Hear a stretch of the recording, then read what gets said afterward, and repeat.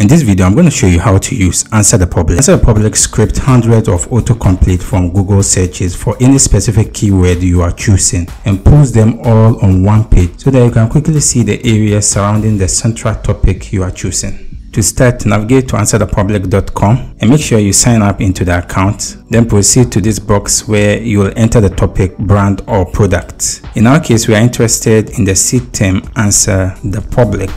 Then hit So when we scroll down, we have 231 results, which is breakdown into questions, proposition, comparison, alphabet, and related. So when we scroll down with regard to the questions, we have a graph form in the form of what, where, can, how, and all other related questions that can come to mind. Beyond that, when we look for what, for instance, you could see we have from dark orange to light orange. So in the case of the dark orange is giving an indication that the question people are mostly asking for. And the list people are asking for is the light orange. So if you want to dig deeper you can proceed to click there and it will open a page for you. So if you're having a problem navigating through this graph you can quickly scroll up and then proceed to data. This will present the visual data in the form of a simple data. In this case we can proceed to the how for instance. So it is organized in the order of highest search volume to the lowest. So we can click on the image. If we want to see a tree that will give us an indication of the dark orange the one which people are mostly asking for to the light orange. So this gives you a simplified approach to all the informations you are searching for. So to demonstrate how powerful this tool is we could see how answer the public works in the most search term on this interface and to confirm that let's quickly navigate to our google search engine and start with how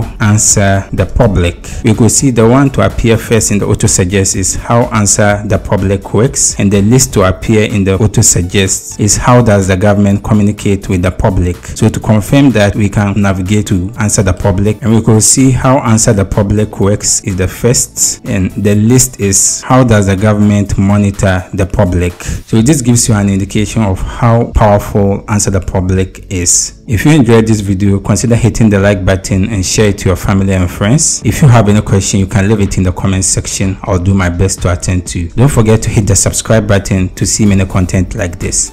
See you in the next video. Bye bye